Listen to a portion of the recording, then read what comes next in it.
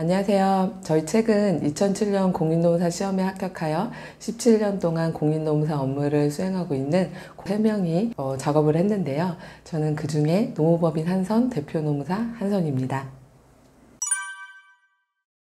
저희 공조한 3명 노무사 모두 17년 동안 어, 노무법인, 사기업, 공공기관에서 사내 노무사로 인사 실무를 담당을 해왔는데요.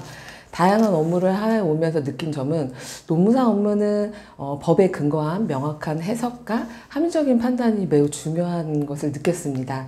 그래서 저희가 어떤 명확한 판단으로 인해서 의뢰인이 만족할 만한 결과를 얻었을 때 그때는 좀 매우 보람을 느끼곤 합니다. 어, 노무사 업무가 너무 다양한데요. 노무사 업무는 기본적으로 어떤 좀 사건, 컨설팅, 자문 이렇게 기타로 볼 수가 있는데요. 사건으로 하면은 뭐 부당 해고라든가 노동위원회 사건도 있고요. 또 산재 사건을 대리해서 진행하는 부분도 있고 또 기업의 인사 노무 자문을 수행을 하거나 또 어떤 인사 노무 컨설팅 등을 진행하는 업무를 주로 수행을 합니다. 어, 제가 이제 다른 세 명의 이제 공조분들이 이제 각자의 동기가 있, 있으시겠지만 저 같은 경우에는 사내 노무사로 근무를 하면서 직장 내 성희롱에 대해서 많이 이제 조사를 하고 실무를 처리를 해왔고 그 이후에도 연장선상으로 괴롭힘 업무를 많이 수행을 해왔는데요. 이 부분에 대해서는 보니까 어, 깊이 있는 조금 연구가 필요하고 실질적으로 또 세대 변화하고 맞물려서 요즘에 굉장히 이슈가 되기 때문에 직장 내 괴롭힘 괴임에 대한 좀 더 주력을 해서 일을 해오고 있습니다. 이 부분을 한번 저희 작년 2023년 9월에 중앙노동위원회에서 최근 3년간 사건이 접수된 것을 분석을 했는데요. 그 조사 결과에 따르면 첫 번째는 폭언, 어, 모욕, 비하 발언이 가장 첫 번째로 이제 많이 빈도가 높은 걸로 꼽혔고요. 두 번째는 부당 지시 강요입니다. 그다음에 세 번째는 사적 용무 지시 순으로 요 세 순으로 나타났습니다.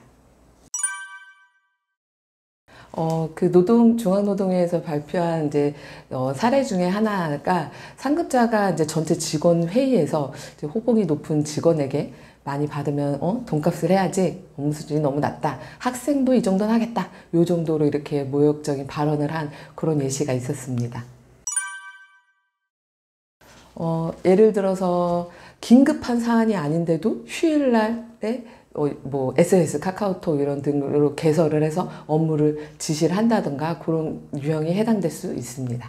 어, 예를 들어서 상급자가 치, 뭐 신입 직원에게 이, 어, 우리 회사는 이제 첫 월급 날에는 직원들이 점심을 다 전체 직원 쏘는 게 문화야. 전, 점심 사야 돼. 뭐 이렇게 말하는 그런 사례가 있었습니다. 네, 직장 내 괴롭힘이 이제 성립을 하기 위해서는 세 가지 요건이 갖춰야 되는데요. 첫 번째는 우선 직장에서의 지위 또는 관계의 우위성이 있어야 됩니다. 이 우위성이 있는 상태에서 업무의 적정 범위를 넘는 행위가 있어야 되고 그 행위로 인해서 피해자가 신체적 정신적 고통을 받거나 어, 근무 환경을 악화시키는 행위가 있어야 되는데 이 세 가지 요건이 모두 있어야 직장 괴롭힘이 성립됩니다. 그렇기 때문에 행위자가 피해자에 비해서 우위성이 있는 상태에서 피해자에게 욕설이나 폭력을 하지 않더라도 업무의 적정 범위를 넘는 행위를 하고 그 행위로 인해서 피해자가 신체적 정신적 고통을 받고 근무 환경을 악화됐다면 직장 내 괴롭힘 해당될 수 있습니다.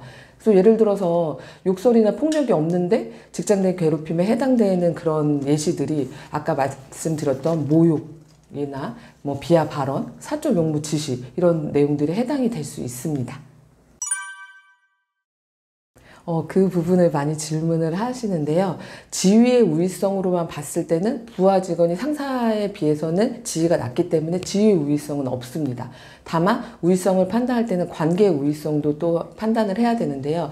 지금 만약에 추가적인 그 부하 직원이 관계의 우위성이 있다면 예를 들어서 어 최근에 판례에 나온 사례도 있는데요. 수적 우위를 형성해서 다수의 부하 직원들이 어뭐 한 명의 상사를 대상으로 업무의 적정 범위 넘는 행위를 한다면 다수 대 한 명이라는 그 수적 우위의 관계 우위성이 형성될 수 있어서 다른 내용이 부합한다면 직장 내 괴롭힘에 해당될 수도 있습니다.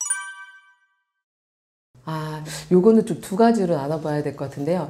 피해를 당한 피해자 입장에서 어느 방법이 좋냐라고 질문을 만약에 하신다면 좀 사실 케이스에 따라 따라서 달리 답변을 드릴 수가 있습니다. 어, 그런데 이제 자, 본인이 속한 회사에 인사부서나 감사부서가 없어서 제대로 된 조사를 할 수가 없다고 판단이 되시거나 아니면 행위자 자체가 사업주인 경우에는 아무래도 내부 조사보다는 노동청 등 외부 신고를 하시는 게 좀 나을 수 있고요. 근데 이제 반대로 회사나 담당자 입장에서 이제 물으신다면 내부 신고라고 이제 말씀을 드릴 수가 있을 것 같은데요. 그 이유는 신고인 직원이 어쨌든 아직은 회사가 객관적으로 이제 나의 문제를 처리해 줄 거라. 고 이제 믿고 있기 때문에 이제 그런 신뢰를 기반으로 해서 신고된 사건을 또 제대로 공정하게 신속하게 잘 처리를 한다면 요 자체의 과정 일련의 과정이 조직 문화 개선의 기회로 삼을 수 있는 계기가 될 수도 있다고 생각을 합니다. 어, 제가 체감하는 부분은 어, 음, 정말 대기업이나 공공기관 같은 경우에는 가, 보통 이제 감사부서나 인사부서에서 직장 내 괴롭힘을 전담하는 담당자 내지 부서를 정하고 있기 때문에 체계적으로 잘 정리가 돼 있습니다. 그래서 신고하는 신고처라든가 프로세스나 매뉴얼이 확립이 돼 있기 때문에 사실 외부 에 신고를 하지 않아도 내부적으로 워낙 처리를 잘 해주기 때문에 내부 신고를 많이 하는 편이고 더구나 이제 공공기관 같은 경우는 자체적으로 하기보다는 자체적으로 어떤 조사를 한 이후에 외부 전문가들을 통한 뭐 위원회를 구성해서 결론을 내리기 때문에 음, 그 구성원들 내에서 어떤 객관성이 좀 더 담보됐다고 느끼는 부분이 있는 것 같습니다. 아, 예.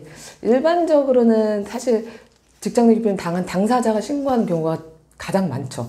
그래서 신, 어디 이제 회사에 직장 내 괴롭힘이다 신고하겠습니다라고 신고를 했을 때 그럴 경우에는 신고인과 당한 피해자가 동일한 경우일 텐데요. 그렇지만 또 일부는 어, 내가 직접 직장 내 괴롭힘을 당하지 않았지만 목격을 한 거나 옆에 느낀 거를 갖고 신고를 할 수 있습니다. 그럴 경우에는 신고인과 피해자가 이제 다르게 됩니다.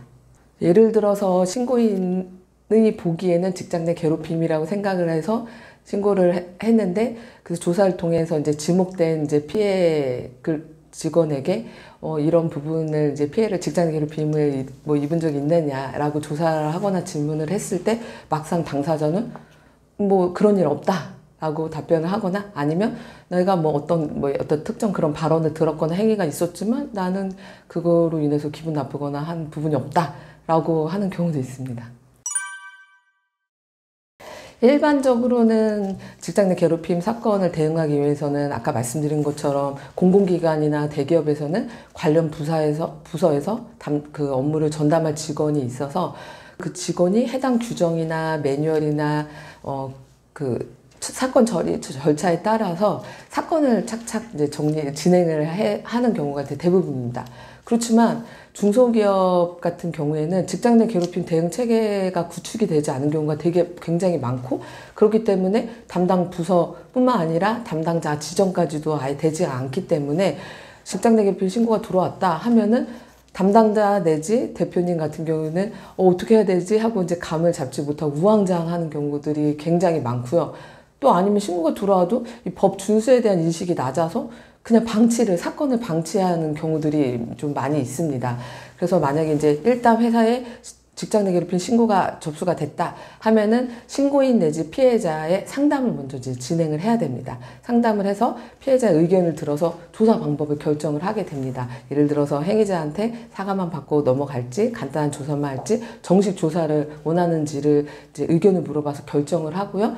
피해자의 보호 조치, 그러니까 행위자하고 피해자를 뭐 분리를 한다던가 보호 조치를 취하고 그 다음 이제 객관적인 조사를 통해서 직장 내 괴롭힘인지 아닌지를 이제 판단을 한 후 조사를 마무리하고 사후 조치를 한 순으로 진행을 하게 됩니다.